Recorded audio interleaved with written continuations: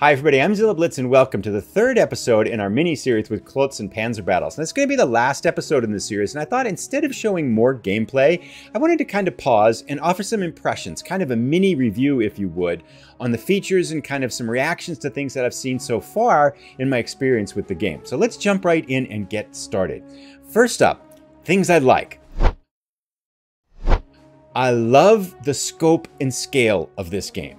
So this is massive right? I mean, there are over 60, what, 60 scenarios now in a branching campaign that can go all different ways. Depends on whether you have a major victory, a minor victory, a minor lo- you know, loss, a major loss, and things like that.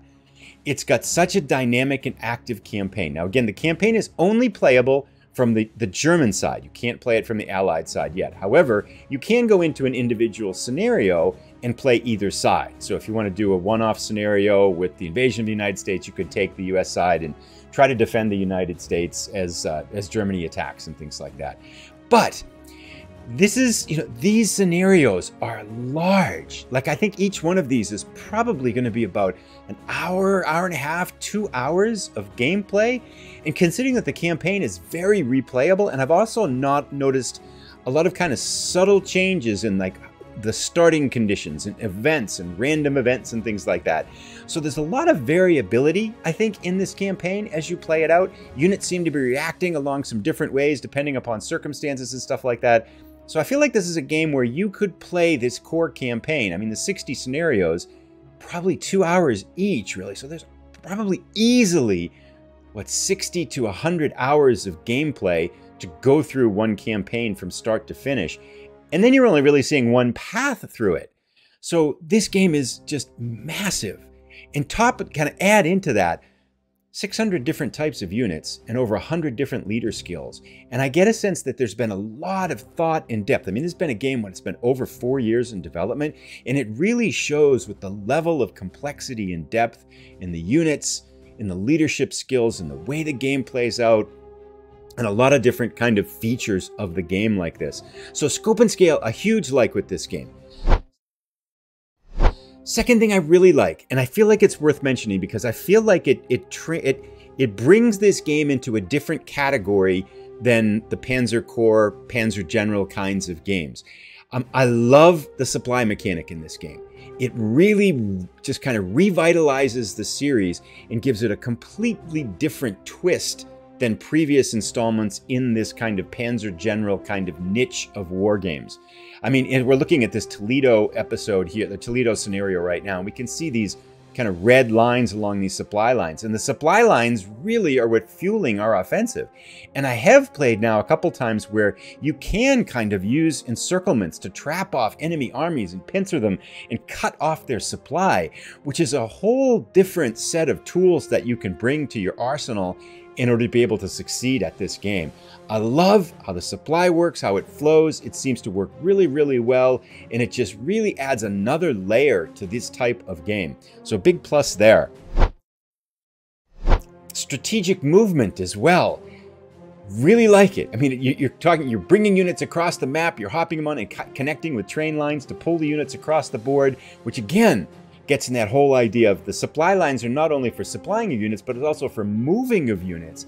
So it really kind of changes the nature of this game. And I think that's one thing I would say that, you know, comparing this to Panzer General and Panzer Corps, how is it different? It's a level, it feels to me so far, a level more complex. It's kind of like Panzer General plus plus, if you would, is how it feels in terms of gameplay. It's rich, it's deep, and I find it's got that kind of one more turn type of element that makes the Panzer Corps, Panzer General types of games so appealing. But this adds another layer of complexity to it that feels like it's been really well thought out and really been well executed. So those are my likes. And, the, and I think the thing I like about that supply and what I like about the strategic movement is that it kind of adds an a little bit more of an operational realism and an operational level to this type of war game. So those are the pluses. Those are the things I like. Are there things I don't like so much yet? Um, I feel like the user interface and that kind of informational navigation uh, needs improvement. And to be totally honest, I feel like in a game like this, it's all about information, and you've got a ton of units you want to be able to move through. You want to be able to get that information about those units fast and as seamlessly as possible without interference from the, the user interface. And I feel like the user interface in this game, I mean, granted, right, there's a lot going on. And also, granted, I think there's a caveat here. I'm still learning how to play. So I think there's elements of this user interface complexity that I'm finding that are probably on me, yet I've still seen enough places where I've seen, like, gosh, I really feel like this could be leveled up a little bit to make the game just slightly better in terms of that uh, user experience in terms of moving units around. Let me give you some examples of places where I've noticed it. First up, uh, you know, when you click on a unit, so right now this is our attack on Toledo. We've got our nationalist force here, we're driven out the Republican forces from Toledo here. And I've got the basic information of my unit here in terms of attack and things like that on the right-hand side. But what I don't have is this deeper information here, which I really want, which are a lot of like the hard combat values, the soft combat values, range for artillery, um, all this different kinds of information. User level and experience is not so critical for where you are. But this is the type of information that I want to be able to access. And when I do that, I can't see my unit, right? So it's behind it, and I want to be able to see the unit. Second of all, on the right-hand side, we've got all of the unit information here, which is great. But if I want to click on this unit, I can't, I don't know where it is on the map. And that's what's really important. I want to know where this unit on the map is. And so if I close it, it zooms out and it shows me where the unit, and now I got to zoom all the way in. And what I really want to be able to do is I want to get all this information somewhere on the side.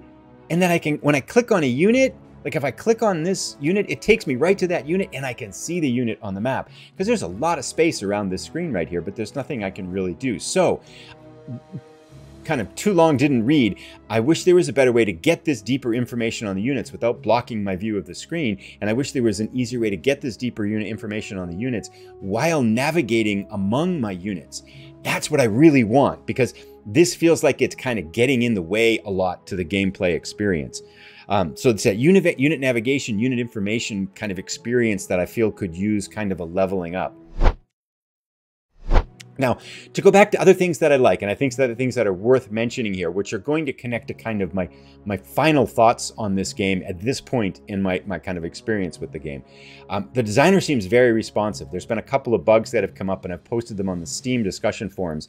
And usually the next day, they have a bug fix out addressing those issues. So they seem like they're listening to people. They seem like they're working to make the game better. And this doesn't feel in any way like a game that's been released and they're like, ah, we're done with it. I feel like this is a, this is obviously a labor of love. It's a small team.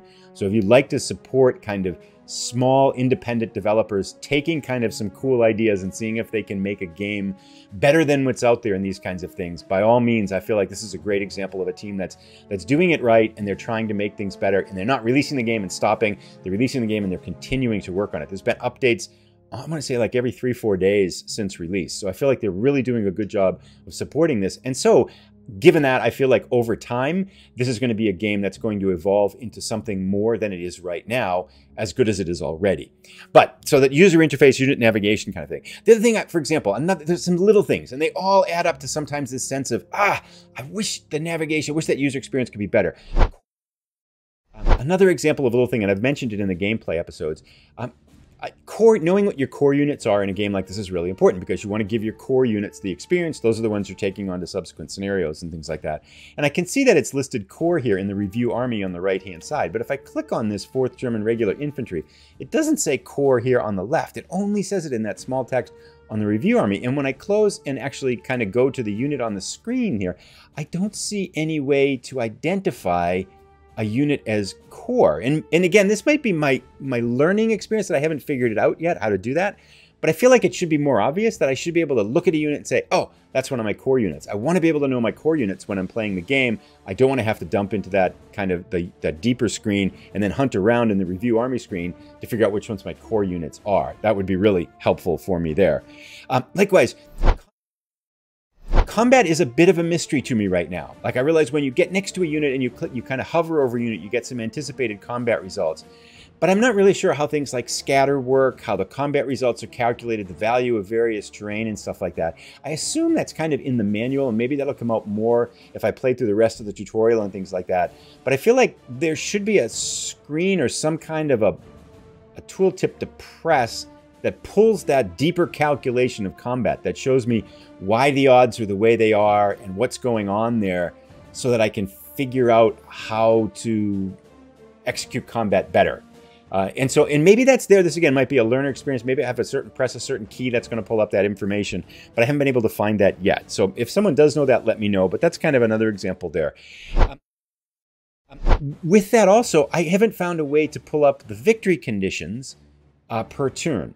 And sometimes the victory conditions also connect to certain hexes on the map, like we're supposed to capture Toledo here. And when you get the victory conditions screen in between turns, it shows you the coordinates of those final victory point positions, but it, the coordinates aren't listed on the map.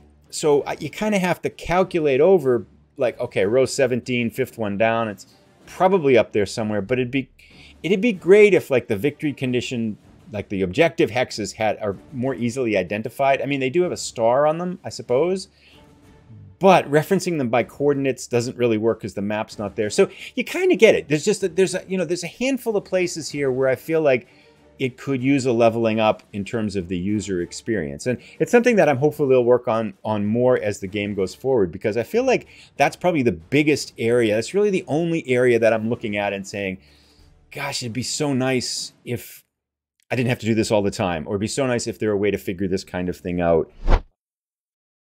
Um, so, so those things are there. Another one last thing too, kind of just another example. If you click on a unit here, and then I go click on information, I can see the leaders here, and I can see their skills by clicking on the leader skills. But there's no way to tell for me to tell whether this pillager, tactician, audacious is level one, level two, or level three.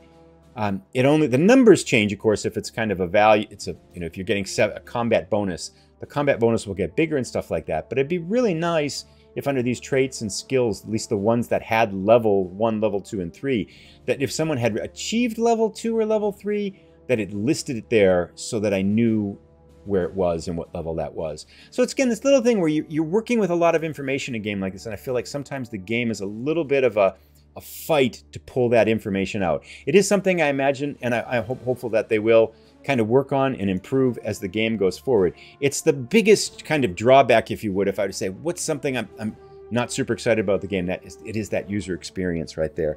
The other things I think that are worth mentioning. AI.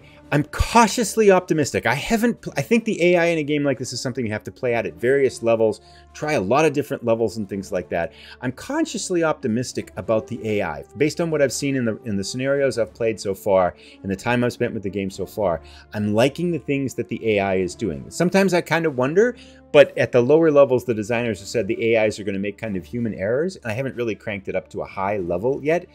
I do think the game's AI is going to give me a challenge, but I feel like I also need to play a lot more and get in more of the aircraft and the ship combat to really make a judgment call on that. So far, so kind of a cautiously optimistic thumbs up about the AI at this level, but I reserve judgment on that because I feel like I need to see that kind of play out a little bit more. That's something I think you really feel like you need 50, 60 hours with the game at various levels of complexity, various AI settings to really start to get a sense for. Uh, but so far, I like what I've seen.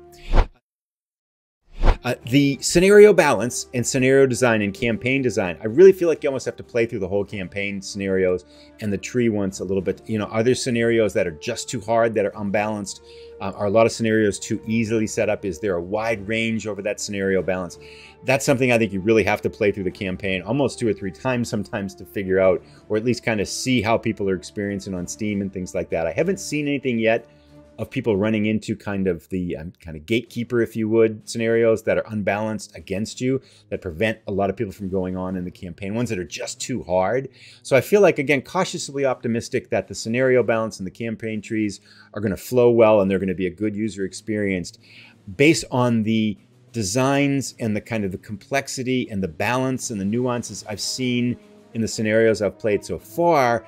I'm liking what I see, and I feel like the designers have spent a lot of time working on that. Again, this is a game that it does not lack for effort in design and input. Let's put it that way, right? A lot of time, a lot of it's a labor of love. You can really feel that here.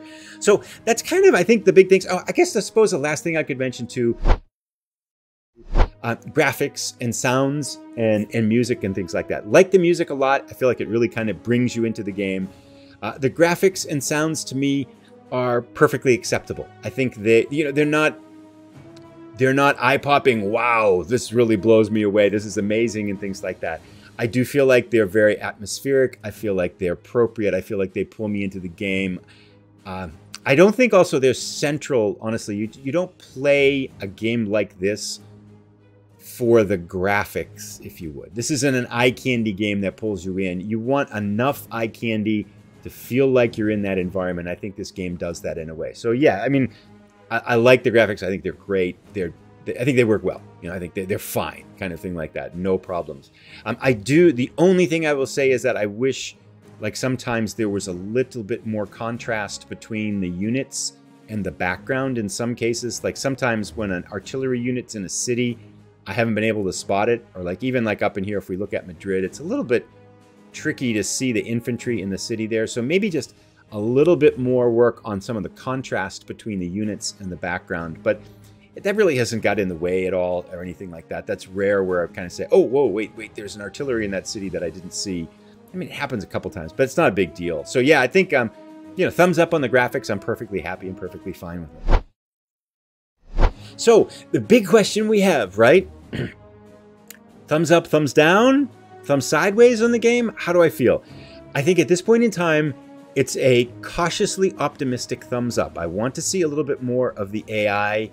I want to see a little bit more on that scenario balance as I play through the longer campaign. I'm going to keep going with this off camera and kind of play forward and stuff. So I think I hope to at some point in the future come back and do a more in-depth review and comment on the AI. Although I get a sense that by the way that the developers are working on it, this is going to be a game that evolves over time. And because of that, I think that's why I give it that cautiously optimistic thumbs up because I feel like the designers are very open to input. I feel like the designers are working hard to make the game better. And I feel like the designers are going to take this game and bring it into its full potential. So, um, and I think the other thing to be said too, you know, if you like to support small independent designers taking a risk, making a labor of love in a category of game that you like and you enjoy, that's oftentimes enough for me to feel like I want to support this design studio in their efforts. I think we need more of this type of game, of this type design studio. And so for that kind of reason, I feel like this is something that is well worthy of our support and our encouragement. And especially when you see a design team that's so responsive and so engaged in what they're doing and trying to make this just an outstanding game. So yeah, a cautiously optimistic thumbs up so far. And I will say, just simply put, I've really enjoyed playing the game. I'm going to continue playing the game off camera. Uh, I I like it a lot. I'm looking forward to seeing how the scenario plays out and learning more. I haven't really dipped in too much into the air combat and the sea combat, so those are kind of question marks that I've still got. But I'm liking it so far. I've enjoyed it. I feel like this is a game that if you like that Panzer General uh, Panzer Corps type of game, you can expand out into this. Again, it's kind of Panzer General, Panzer Corps plus plus, maybe with some of the added features and mechanics and things like that. So, um, really good job. I look forward to seeing what it becomes over time as the designers keep working on it. And yeah, I'm cautiously optimistic thumbs up. Let me know if you have questions down below. Have you got the game? Have you tried it? Uh, what are your thoughts? What are the things you like? Are there things you don't like? Love to hear from you down in the comments. But uh, thank you so much for tuning in. I think I'll probably come back in a, a, bit at some point and maybe give kind of an update as the game's going on, how my campaign's going, and things like that. But um, yeah, have a great day, everyone. Thanks so much for tuning in.